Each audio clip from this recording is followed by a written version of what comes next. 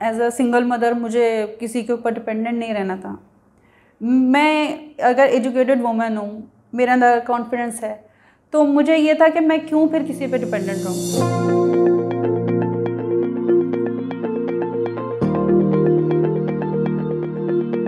असलम मेरा नाम महविश कमल है।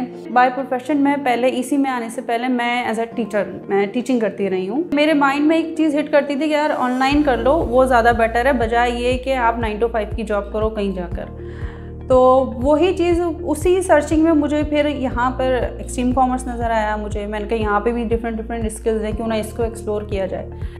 वहाँ पे फिर मैंने उनसे बीबीसी लिया बीबीसी को मैंने एक्सप्लोर किया और मेरा इंटरेस्ट जिसमें डेवलप हुआ वो होलसेल था। घर वालों को ना ई कॉमर्स के बारे में समझाना ज़रा मुश्किल था।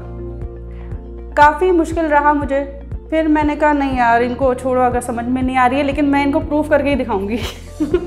मैंने पूरी लगन के साथ मैंने डीटी लिया, मैंने होलसेल में मैंने बहुत कुछ मैंने सीखा। एज अ सिंगल मदर मुझे किसी के ऊपर डिपेंडेंट नहीं रहना था। मैं अगर एजुकेटेड वुमेन हूँ, मेरे अंदर कॉन्फिडेंस है तो मुझे ये था कि मैं क्यों फिर किसी पे डिपेंडेंट रहूँ? यही सोच के मैं ई e आई और बस यहाँ पर आके जो कॉन्फिडेंस एकदम से बूस्ट हुआ है, जो ई e का माहौल मुझे मिला है, एक कंफर्टेबल वाला कि मैं अगर रात में सात सात आठ आठ बजे भी यहाँ से जा रही हूँ तो मुझे कोई प्रॉब्लम नहीं है वापस जाने में। डिप्लोमा ट्रैक में एक्चुअली टू वे कम्युनिकेशन होती है। वो बहुत ज़रूरी है। तो डिप्लोमा ट्रैक का और ऑन साइड की क्लासेस में टू वे कम्युनिकेशन जो होती है ना, वो आपके हाथ में एक स्ट्रिंग पकड़वा देती है। आपको वो रास्ता मिल जाता है कि जिस पे आप आगे बढ़ सकते हैं जिस पे आपको समझ आने लगता है कि काम कैसे होना है प्रॉब्लम्स कैसे सॉल्व होंगी। देन uh, मैंने जब मेरा डिप्लोमा ट्रैक एंड हुआ तो मुझे लोगों की तरफ़ से ऑफ़र्स आने लगी काम करने की देन फिर जब मैं इसी इसी में ही फिर मुझे एज अ एजेंसी मुझे एजेंसी से एक कॉल आ गई कि आप हमारे साथ वर्क करें। और अब मैं उन एजेंसी का मैं पूरा यूके का डिपार्टमेंट हेड कर रही हूँ।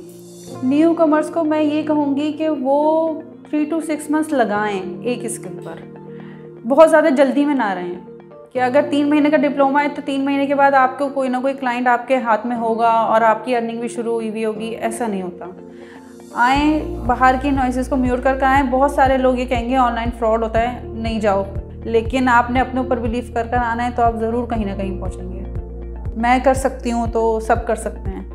जिस तरह से मैं आई थी, मैं एज अ सिंगल मदर मैं यहाँ तक पहुँची हूँ तो मैं यही कहूँगी कि सब कर सकती हैं। आप लोग प्लीज़ आएँ यहाँ पर और ज़रूर एक्सप्लोर करें इसी को।